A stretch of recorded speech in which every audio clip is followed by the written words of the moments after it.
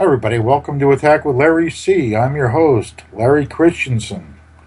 And uh, we got some great examples of uh, fine attacking chess today, notably by Vadim Zvjaginsev from the, the uh, Russian Team Championship held in Sochi um, just this past uh, week.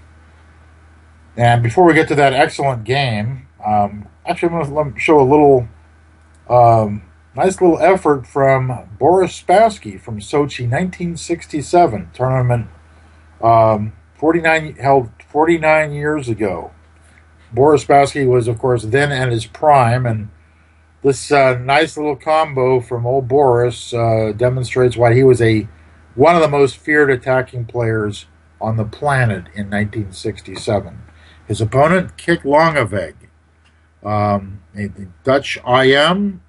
He has, he has many fine victories to his credit, he's, but he's seriously, he's probably better known as a uh, worthy opponent to the likes of uh, Boris Spassky, Mikhail Tal, Jan Timman, um, Karpov, many others.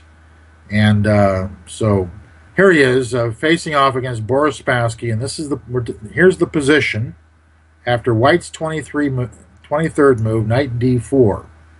Now, Black has no virtually no weaknesses in the position. His rook on A8 is underemployed, but uh, he looks like a fairly sound position. White does have a menacing cast, uh, poised to attack quickly, but if Black keeps his head on straight here, he should survive the onslaught. But you don't survive by playing moves like what um, Langeweg did here, which was the decentralizing knight a4. Knight on the rim is risky, not just dim. And of course, Spassky, you can you can bet, rest assured, he gets right to work. What should Black do here? Um, he should have played f6. That's a multi-purpose move. It provides a path, a retreat path for the black queen. If now knight f5, black can survive with queen g6, rook g3, and queen e8. And avoiding most of the danger here. Now white does have still a rather promising looking position, but uh, I think black should be able to survive this.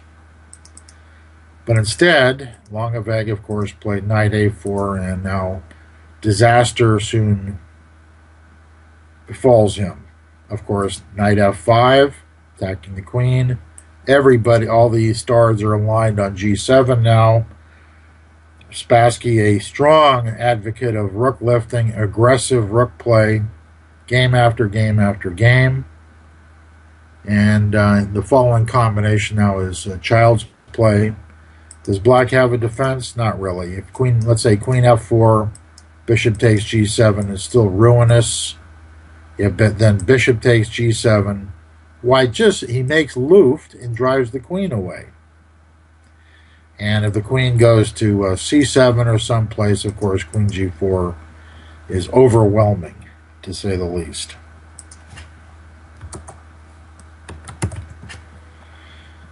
So Langeweg his hopes now lay in Queen c6, but that's another piece far removed now from Black's king area. Spassky goes right to work with a very well calculated sack. Bishop takes g7. And his initial point is what happens on queen takes c7? Well, then Boris had planned knight h6 check, king takes g7, rook g7 check, g5 check, of course, now if king h8, mate on g8, and if king takes h6, queen h5, mate, and if, if king f6, white forces mate with rook f5 check, king g7, and now the other rook joins the party to deliver mate.